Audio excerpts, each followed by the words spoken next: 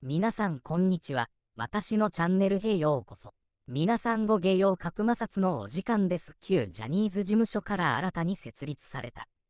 スタートエンターテインメントが現在段階絶壁の窮地に立たされているとしてファンからは不安視されています。テレビ局や CM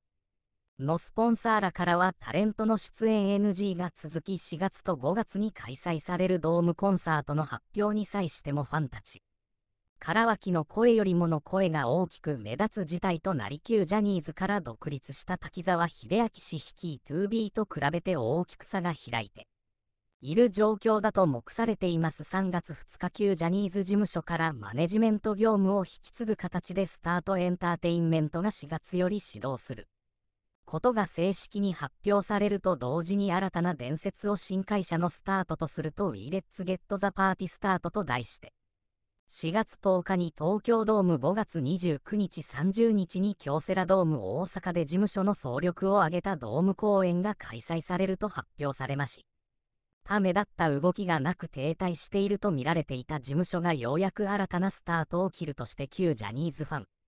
たちは大歓喜と吐かずむしろ猛反発の声が上がっているとスポーツ指揮者が語りますこれまでに出演が発表されているのはニューススーパーエトカトゥーン平成ジャンプキスマイフット2アブコウエスト旧ジャニーズウエストキングアプリンスストーンズスノーマンナ男子トラビスジャパンの12組ですが彼らとスタートエンターテインメントとの契約がどうなったかは無名ですよね。それも旧ジャニーズ時代ならどこよりも早くファンクラブで通知するのが関連でしたが今回はメディアでの発表が先になった。それだけでもファンは槍を感じているのにドームコンサートが1万5000円とこれまでにない金額の高さで週半ばの平日開催さらに同行者も含めファンクラブ会員でなければ申し込めないこうした不親切設定にも不満が噴出しています。さらに今回開催されるという同コンサートのチケットは所属タレントのファンクラブからのみの申し込みを受け付けていますが、それを運営しているのは現状スマイルアップとなります。スマイルアップはジャニー北川氏によるまさ加害問題にかかる保証業務を旧ジャニーズ事務所から引き継いでいる会社であり、そこからファンの個人情報などスタートエンターテインメントがどのように引き継いでいくのか、タレントとの契約はどうなっていくのかなどの報告が。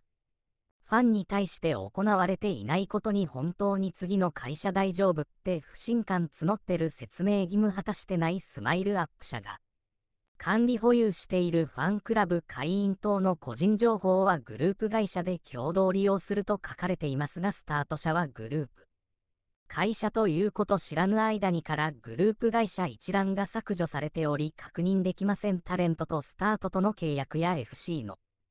スタート間はチケット申し込み前にアナウンスがないのはおかしいんじゃないですか？特に FC 個人情報の取り扱い。スタートから何もないよとりあえず金の流れ先教えてと不安視する声も X 上で溢れ引き継ぎの方針にも疑問が上がっています。その一方で旧ジャニーズから独立した滝沢秀明氏が設立した 2B もドームライブを開催すると発表しておりこれについては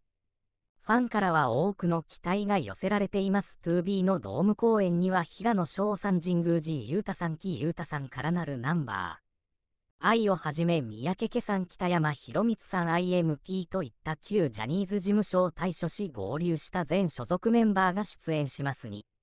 ヒーローズ飛べファーストスーパーライブと題し東京ドームで3月14日から17日の週末にかけて4日間開催されます。最終日の公演は動画配信サービスのプライムビデオで全世界独占制配信されることも発表されていますね特に旧事務所で。キングアプリンスから対峙社会現象にもなった平野さら3人は場として初めてファンの前でを披露されることになるので注目度抜群です。前でスポーツ紙記者団ドーム公演自体は 2B の方が先に発表されておりスタートエンターテインメントがそれに触発されて急遽ドームコンサートを計画したために平日開催となったのではないかという見方もされており旧ジャニーズファンの間では 2B と比較されることも多々あり 2B の土公演は日曜余鎌倉で世界同時配信スタート公演派と平日にうちはファンクラブ会員のみ現場で週刊誌に情報を流す時点で信用なくしてるし各メディアに発表よりも先に FC 会員に FC メールよせよとも思ったで蓋を開けば地代1万5000円ファンナメ店の 2B の3月の 2B のドーム公演のチケット代を調べたら9800手数料800円だそうです。悔しいけどそっちの方が良心的 2B のドーム決まった時めっちゃ嬉しかった。ったんだよ。スタートのドームはえってなるナンバーアイとキンプリどっちも大好きな人が出演するのにと戸惑う声も上がっています。ドーム公演の歓迎具合に反映されているようにスタートエンターテインメントが熱に立たされているととにテレビ出演においても。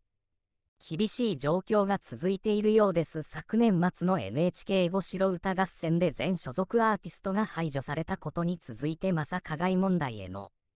保証が進んでいないとして春の番組改編で8つのレギュラー番組が終了し NHK から完全に締め出される形となりましたまた。フジテレビでも旧ジャニーズ番組4つが4月期改編に伴い終了すると言いますその一方で 2B からは三宅さんや北山さんが民放バラエティ番組に出演したりインプの音楽番組出演や旧ジャニーズではデビュー前だった大東立さんのドラマ出演など独立後も問題なく露出が続いています。旧ジャニーズを排斥した NHK にはナンバーアイが3月2日放送のベニュー。101でテレビ初出演を果たし大きな話題となりました。さらにはサントリーやデジタルハリウッド大学は新 CM に平野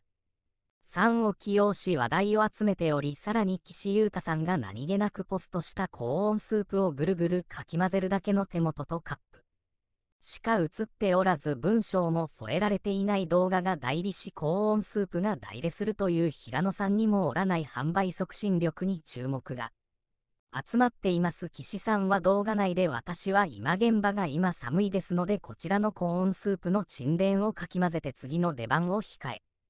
ておりますとコメントしており X では出たお得意のご本人見えないけど岸くんでしかないポスト岸くんコーンポタージュぐるぐるなど応援の声だけではなくコーンスープめっちゃ飲みたくなったけど家になかった明日顔やばいコーンスープかき混ぜて飲みたくなった回に行っちゃおう。岸くんのコーンスープ見てたら飲みたくなったけど我が家にはインスタントのこなしのスープしかなかったでも飲んだよと岸さんにつられてコンポタージュを飲みたくなったというファンの声が多く寄せられており岸さんのポストは対象鏡となっています。岸さんは昨年10月15日に X を開設してからというモノ飯テロポストをたびたび投稿しており、毎回のように X が盛り上がったり、映った食べ物を私も食べたとファンがリアクションする様子がお約束になりつつあります。一番最初の飯テロポストは23年10月20日でしたが、フリーダムすぎる内容が岸さんらしいと好評でしたよね。女性誌ライター岸さんはゴチです。今度は食べる前に写真撮りますと綴り空っぽの箱らしき写真を載せた投稿はアーティスト。写真のオフショットを除くと初の画像付き投稿だったこともあり岸さんのユーモアも伺えるところですがさらに岸さんは今度は食べる前にという約束を守りたかったのか翌21日夜11時には夜おやつと綴りフランクフルトをくるくる回す動画を投稿しており、岸さん本人が映っているわけでもないただ小びのフランクフルトがくるくると回っている。だけのバズり全国のコンビニでフランクフルトやホットスナックがまさかの品切れ状態にまでなるほどだったといい。マス表示数は710を超えており、岸さんの飯テロポストでは最高記録となるなど平野さん木さんをはじめとした 2B 所属。タレントの今後のテレビ CM 出演の増加にも期待が寄せられています。それに至急ジャニーズ事務所で snowman に所属。スルメグロレンさんもキリンホールディングスの CM に出演が決まり3月7日目黒さんと広告起用について直接契約を結んだと。キリンホールディングスが発表しました今後午後の紅茶やキリンビールの新商品の広告に起用する予定だと言われています。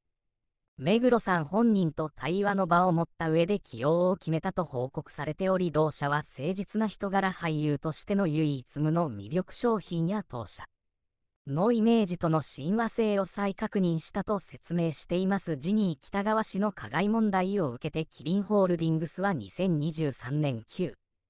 月級ジャニーズ事務所で再発防止などの取り組みが機能していることが確認できるまではタレントと新規契約を結ばない方針を表明しておりこのには変更がないとする一方で問題に直接関与のないタレントに活躍の機会が与えられないことはタレントの人権尊重の観点で悪影響が生じるという姿勢も示していました。これをきっかけに旧ジャニーズ事務所のタレントの起用を再始動する企業も増えていくと見られているものの旧ジャにいつも 2B の後出しじゃない毎回平野が売れたから目黒を出して戦略が似たより過ぎないと 2B ファン旧ジャニーズファンともに新たな角出に納得がいかない部分もあるようでスマイルアップ社スタート社はまだまだ前途多となりそうです。今後全世界で問題として取り上げられた性加害問題を解決させファンに寄り添い信頼を回復させていくのかその動きにも注目が集まるでしょう。ご覧いきございました。ぜひチャンネル登録と高評価をお願いします。たくさんのコメントや感想もお待ちしております。それでは次の動画でお会いしましょ